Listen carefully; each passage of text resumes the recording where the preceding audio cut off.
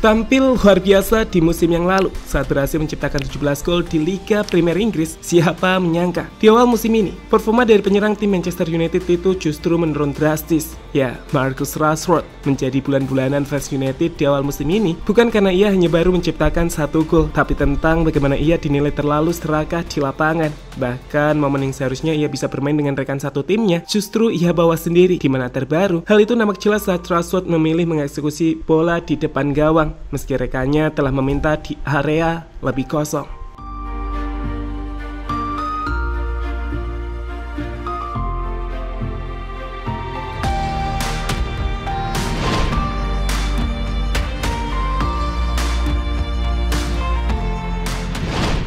Manchester United akhirnya berhasil mengakhiri rentetan buruknya di awal musim ini. Pasalnya, saya selalu kalah dalam tiga laga terakhir, mulai dari laga kontra Arsenal, Brighton hingga Bayern Munchen. United akhirnya berhasil meraih kemenangan di laga lanjutan Liga Premier Inggris malam tadi, saat gol dari Bruno Fernandes berhasil mengantarkan tim asuhan Erik Ten Hag itu untuk meraih kemenangan tipis dengan skor 1-0 di kandang tim Burnley.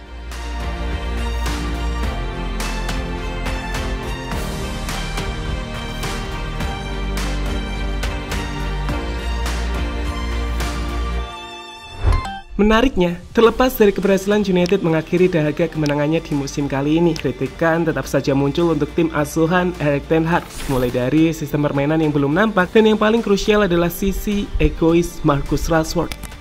Musim ini, penampilan dari penyerang 25 tahun itu bersama tim Setan Merah memang mendapatkan banyak kritikan. Selain baru menciptakan satu gol yang ia cetak saat membobol gawang dari tim Arsenal, Rashford dinilai terlalu egois di atas lapangan. Tak hanya itu, Rashford juga dinilai terlalu mengandalkan insting golnya daripada otaknya, sehingga saat sudah di kotak penalti, hanya akan mengandalkan instingnya untuk melepaskan tembakan ke arah gawang, tanpa melihat ke sekelilingnya terlebih dahulu. Dan itu kembali terjadi di laga semalam saat ia tak memberikan umpan ke Casemiro yang telah berdiri bebas.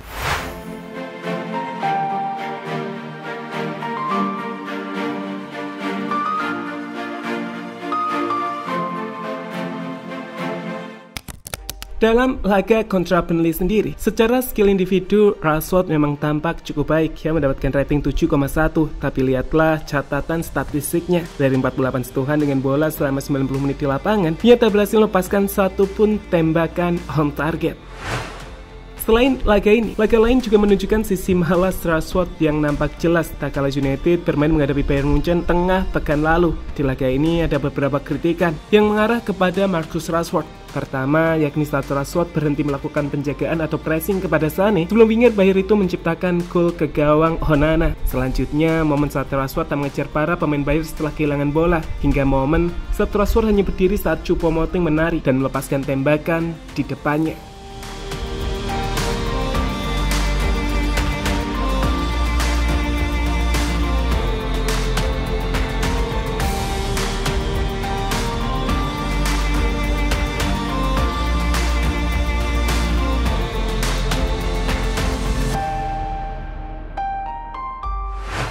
Apa yang dilakukan Rashford di dua laga terakhirnya ini sendiri sejatinya sudah mendapatkan kritikan dari banyak pihak mulai dari Henry hingga legenda yang menjadi pengamat lainnya soal performa Rashford.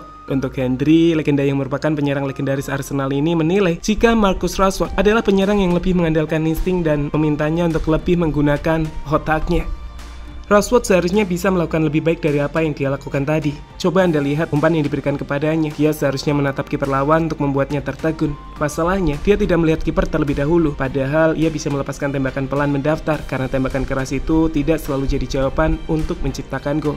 Selain Hendry, kritikan juga sempat diberikan oleh Scott Parker baru-baru ini. Mantan menyerang Inggris itu mengatakan, saya mengkritik Rashford ketika dia mencetak gol karena saya ingin dia memberikan lebih banyak untuk tim. Sekarang, dia tidak lagi mencetak gol dan pengambilan keputusannya masih buruk. Dia seharusnya seperti itu karena dia adalah pemain sayap cepat dengan kemampuan teknis yang bagus. Namun kenyataannya, dia hanyalah pemain egois yang hidup dengan performa bagus di bulan Februari. Saya pikir Manchester United terburu-buru untuk memberinya kontrak sebesar ini secara keseluruhan. Sementara itu, menanggapi kritik yang diberikan kepadanya, Rashford mengakui jika momen itu memang akan datang saat timnya meraih kekalahan dan ia siap untuk menerimanya dan bertahan. Saya tahu itu akan datang. Jangan salah paham, saya tahu ketika kami kalah dalam satu pertandingan, itu akan terjadi. Nah, tahukah Anda kalau kalah dalam tiga pertandingan, pasti akan mendatangkan sorotan. Tapi, tahukah Anda, bagi saya dan pemain lainnya, kini soal bertahan. Kami di sini bukan untuk menghindari dari tanggung jawab. Seperti dijelaskan di awal, Rashford sebenarnya memasuki musim ini dengan kepercayaan diri tinggi setelah mencetak 30 gol di musim perdana Erik Ten Hag sebagai bos United dan menandatangani kontrak jangka panjang baru di awal tahun ini. Namun, dia kesulitan mengubah permainannya menjadi keuntungan setan merah dalam beberapa pekan terakhir, sehingga mendapatkan kritikan keras dari banyak pihak di awal musim ini. Kini harapannya satu, Ten Hag bisa memberikan shock terapi kepada Rashford untuk mengembalikan bentuk permainan terbaiknya.